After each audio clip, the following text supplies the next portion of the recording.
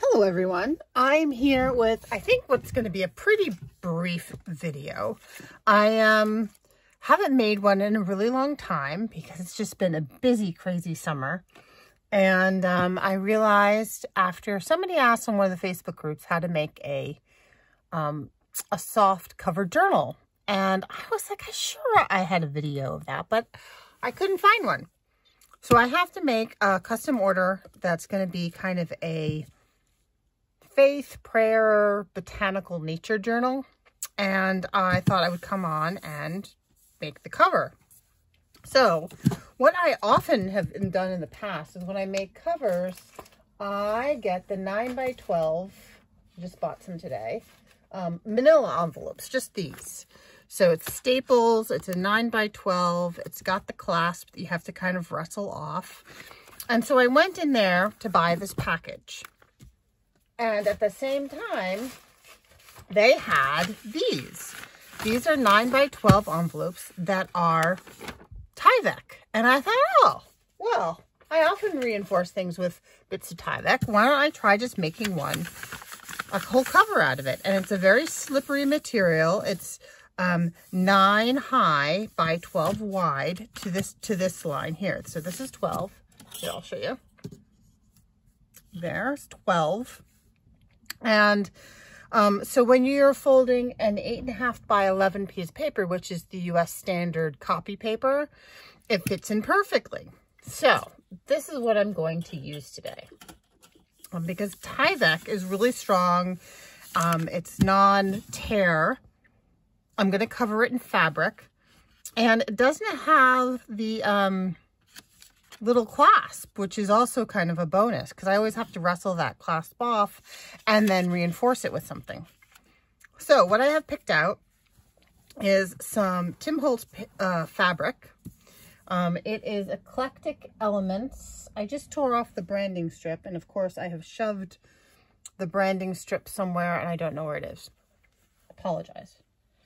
But the Eclectic Elements um, fabric matches the wallflower paper pads. I think all of it's been discontinued. It's very sad um, because I love both the paper and the fabrics and have used them extensively. So what I've done, I should say, is I did score this. I closed this up and I scored it exactly at six because that's going to be the spine. I'm going to do one signature. I think I'm going to do three whole pamphlet. I might do five depending on how much of a struggle it is to punch this. I'm not sure. We'll see. So three holes. This is going to be my cover because I like to leave this as a closure, as a wraparound closure. And granted, it does get kind of alligatory, but this still works to, to wrap around and close it. Um, so, so I need to cover this, keeping in mind that this is going to be the front side and that's going to be the back side and I have this piece of fabric. Now, I, I like how this is coming out over here um, because I am going to use Mrs. Cog's um, Fine Art Women in Prayer or People in Prayer, I think it is, images in this, um, which I haven't printed out because I've been fighting with my printer again. Um, and, but I think I'm going to put an image here.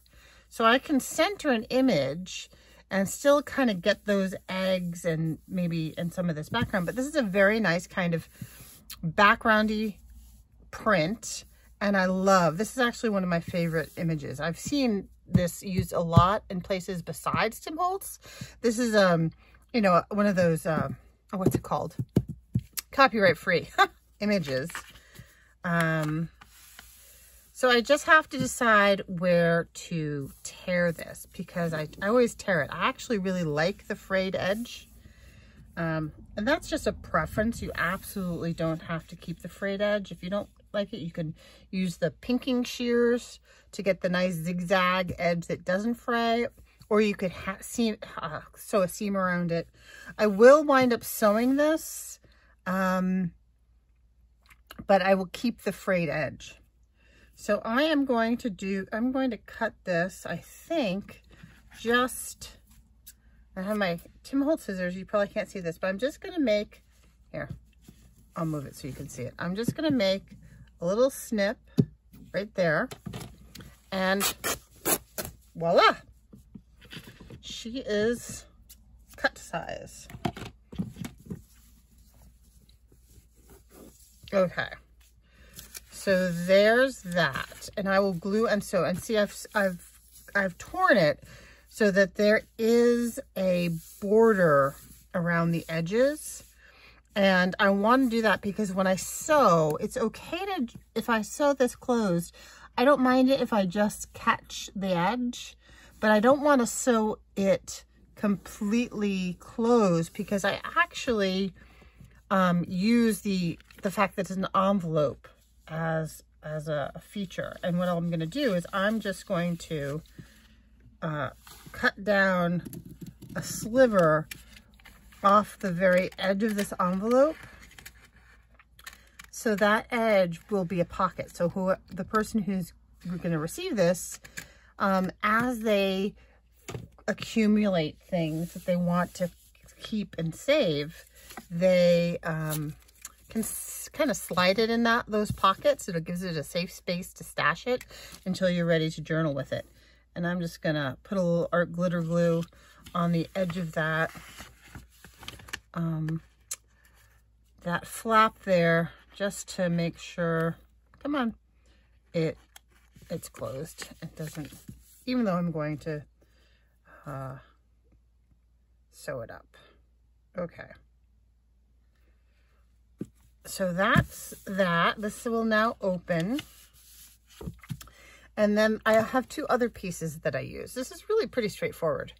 I have a piece of muslin um, granted, so this is upside down now. So this is how it's going to go. I have a um, piece of muslin for the inside that I've already torn to size. Like this. And I will glue all this down. And then I'll sew around the edges. Um, and I actually want this to be more like that. Pretty close to this edge. And I can always snip this down later on. If I don't like how it's how it's sitting. Um, I'm gonna pull this a little bit. And then the other piece that I have is I've got a cutoff of another piece of Tim Holtz fabric that has that wonderful flower. And what I do is I'm going to um, stick that along the flap because I will put an eyelet in in, in the edge of this um, after I sew it in the edge for the closure. And then I've chosen, I should say, I've chosen this plain muslin um, because I also intend to put a piece of the Tim Holtz Wallflower paper on either side, on the front and the back. I don't always do that with the manila envelopes, but this Tyvek is particularly soft and squishy, and I think it'll just give it a little bit more um, of a cover feel to it. It'll still be fairly flexible, so it can kind of wrap around it as it gets bulky, which I love that feeling of whole squish. Okay, so let's start gluing. So I'm going to position this like so. And I'm going to use, this is actually, in here is actually three in one.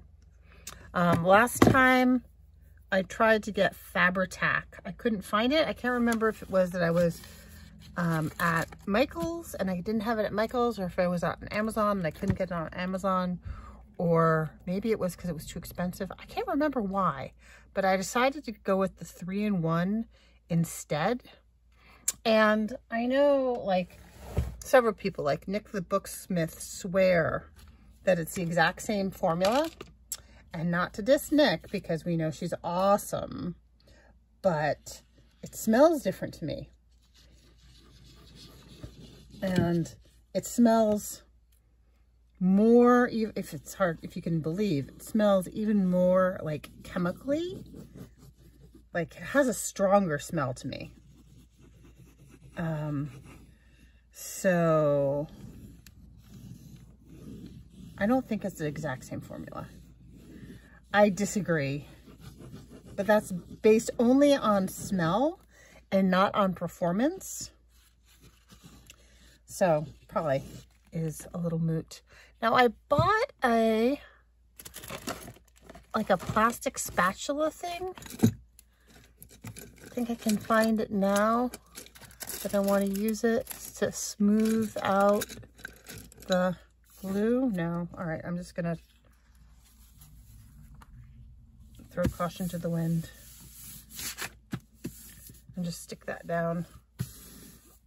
Oh, that's nice. It really didn't come through at all, which is super fabulous. Appreciate that. Okay. Now I'm to do the front.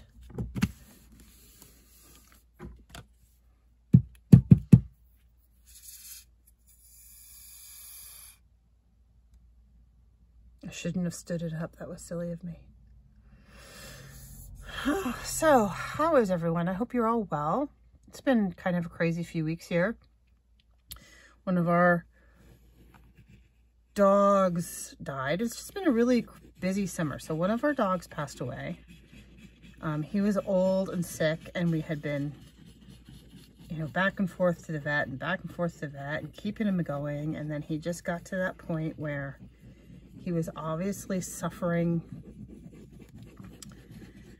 And so we had to make the call, which you know, always happens with dogs, but it's always miserable when it does. And then we have been doing a tremendous amount of yard work because we did nothing during the 18 months of COVID. Well, the first 18 months of COVID, I should say. Um, so we, uh, it's just been, it's just been, we completely cleared, re-cleared the backyard. It's not a huge backyard, but it's big enough to be a big job. And so we pulled out all the brush and we cut back all the brush. And then we pulled out like decades worth of metal fencing and cleared all that area. And then we, my husband and I ourselves put up new fencing, uh, just stockade fencing um, to keep the dog in mostly. Ooh, I like how that looks. See how nice, like I, I ne never iron. And because when you glue it down, it just smooths it right on out. Um, yeah, so we put up fencing. We, we had to dig the post holes and put the post in and pour cement and then put the fencing up and nail it in. And it was just carrying everything back and forth because we staged everything in the driveway and then we had to carry it all the way down to the back. I mean, it was, it was a huge job. And then I also built a water garden. Uh oh what did I do with my pre-measured, is this it? My pile of mess over here. Um, I also built a water garden out of a galvanized stock tank. And yes, if you're a water gardener, I know you're not supposed to put fish in galvanized stock tanks, but I have seen a lot of mixed information about that. Some people have had success.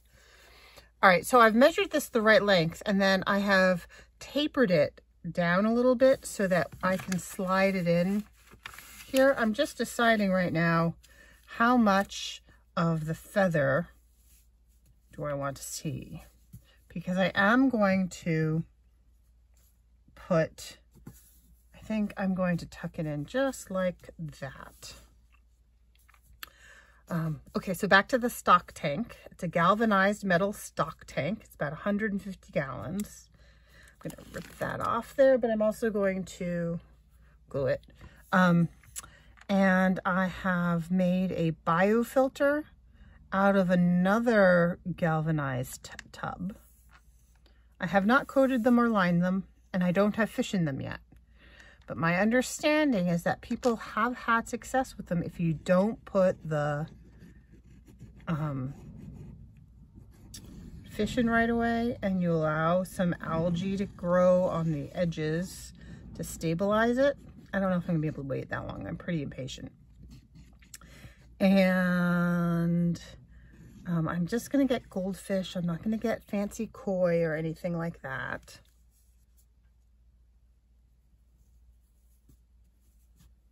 Okay, I need to pull this down a little bit so I have some, whoops, it's already stuck. All right, so be it.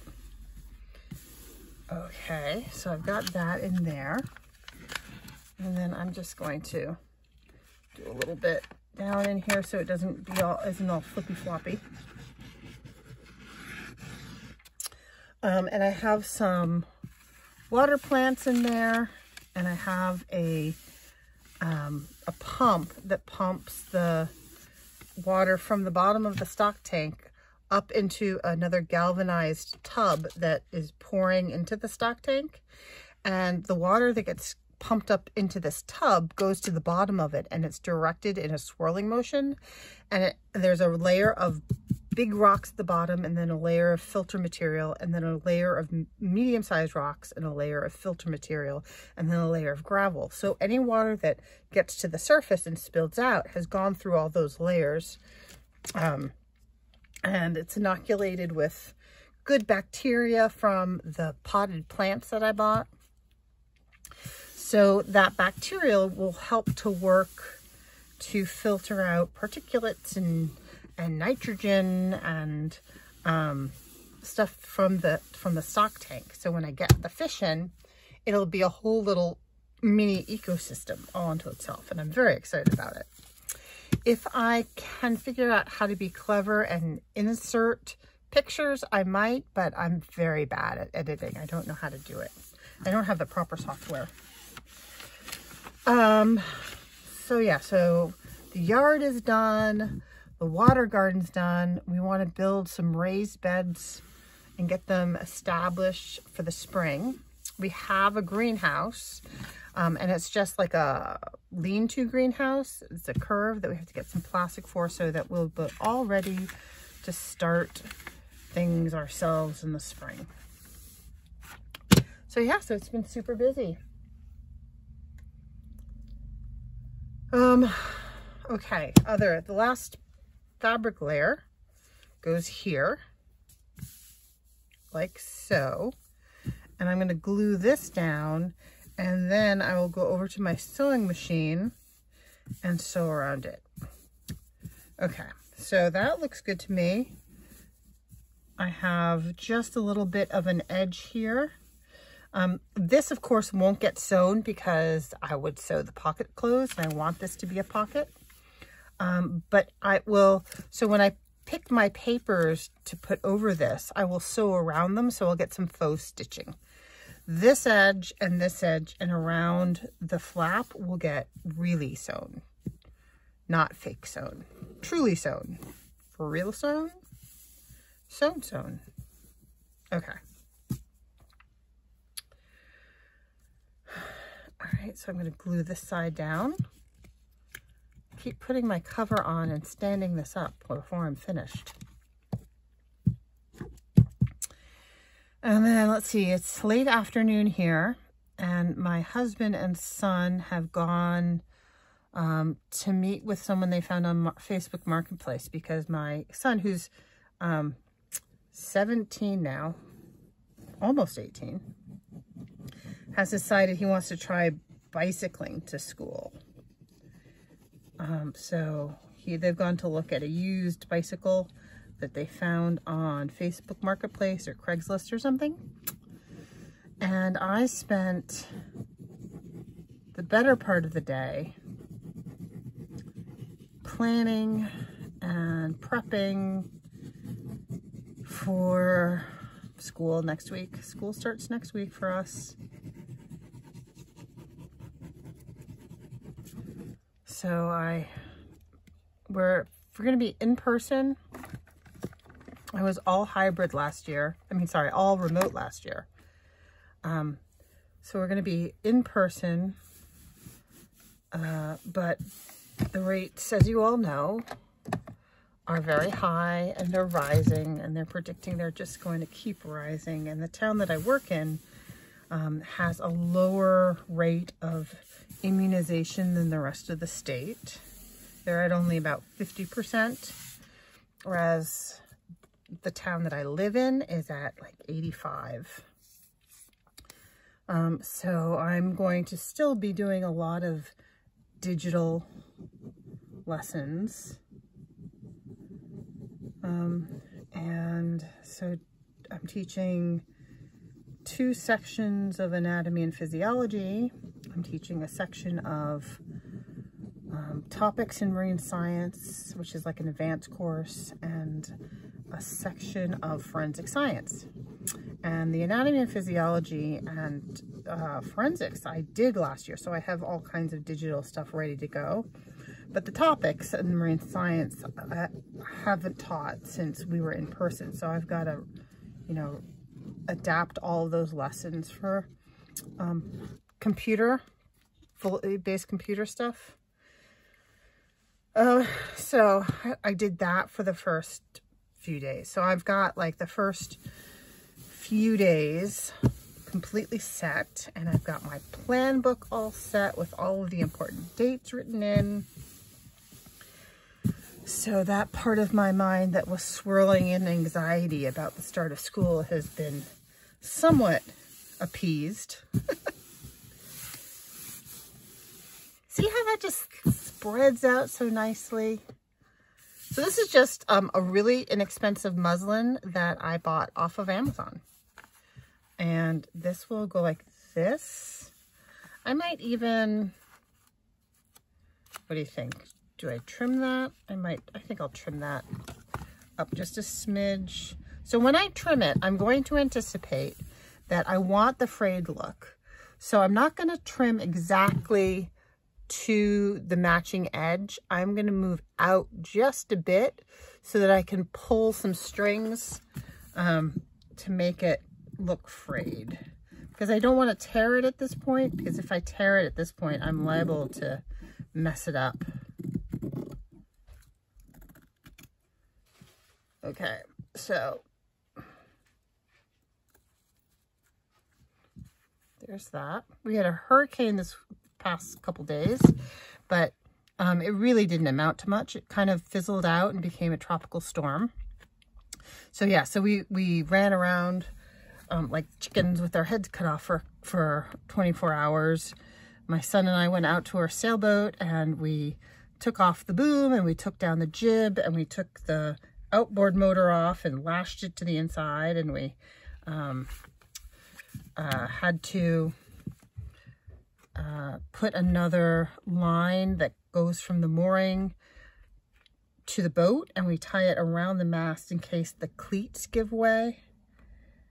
So that got all that done. And thankfully, thankfully it fizzled out and it turned out to be nothing um, too terrible. Nobody's boats broke away because that's a that's the worry. You can be really good and responsible and batten your boat down and tie it up as best you can. But if somebody else's boat breaks off and slams into yours, it's a bummer. So it all all's well that ends well. It's supposed to actually come back around this evening. Like it went off to the west and it's supposed to then swirl back around and get us again with a bunch of rain tonight. But so far, it's actually been quite a nice day. All right. Oh, that's cute. I like how you can see the little nests and eggs there. I don't think I'm going to trim that because I'm going to sew that. And that is where I am for the cover right now. So I'm going to go ahead and I'm going to I'm going to sew along here, along the edge of the um, the flap, and then back down here. And I'm going to be trying to stay right in this area. I'll do zigzag and I might catch the corner, the edge of the envelope, which you can see pretty nicely with this. Um, and that's okay. I don't mind catching the corner. I just don't want to like inhibit the, the edges too much. So I'm going to do that and then I will come back briefly and show you how that looks and I'll put the eyelet in and we will move on from there. So I'll be right back. I'm back. So I have sewn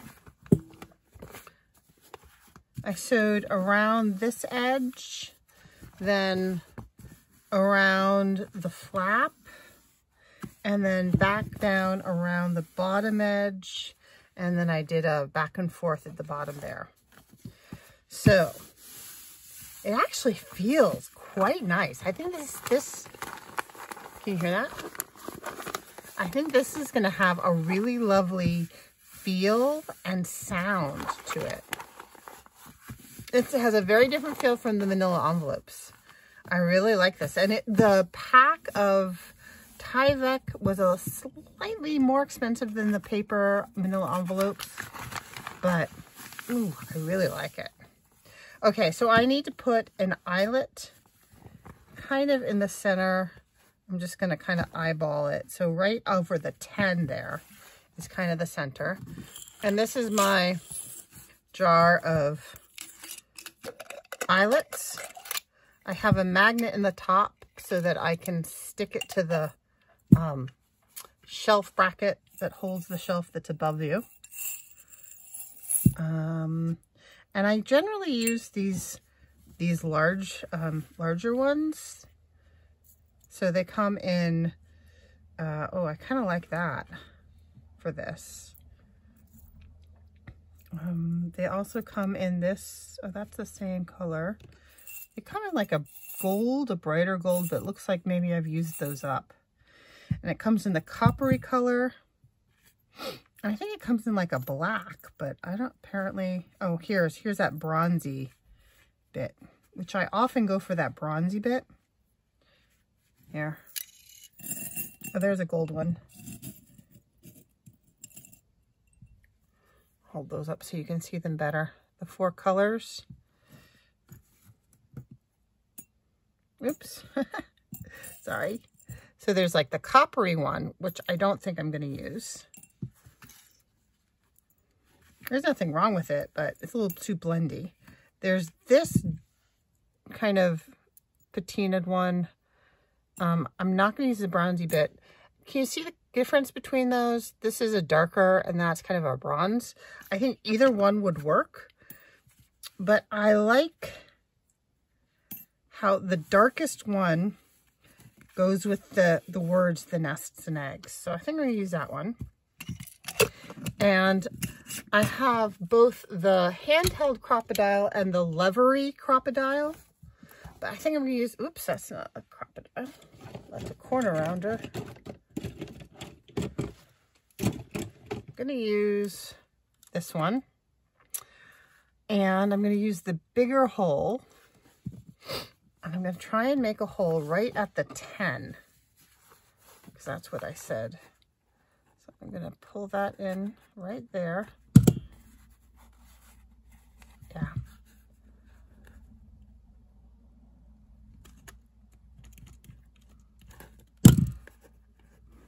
And sometimes the fabric doesn't, hmm, don't know where my tiny scissors are. There we go. And then I have this set to four. Oh no. This is on. Ugh, think I can read that. I can't read what that's. I think it's one on the bottom. Come on, you. And A. I'm using A1 to set this.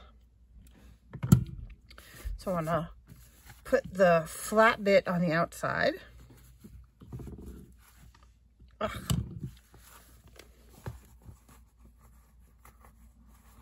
And then I'm going to give it a squish. And voila! I have a nicely set eyelet. Sometimes I'll go in, especially if it's near the edge like this, and I'll just take my needle nose pliers that I use for jewelry, dangles and beads and things, and give it a little extra squish. And there we go. So as I said, I'm going to pick out some papers do some faux stitching around the edges, stick those on, and I will find um, the image that I used for this front and a bit of either sari silk or seam binding for the closure. And that will be my cover. And I, at the moment, I intend to take you on on those next steps. Um, but I make no promises because life is crazy. But I will try. Um, thank you much for joining me. And I hope you are all safe and well. And I hope you have a great day. Bye-bye.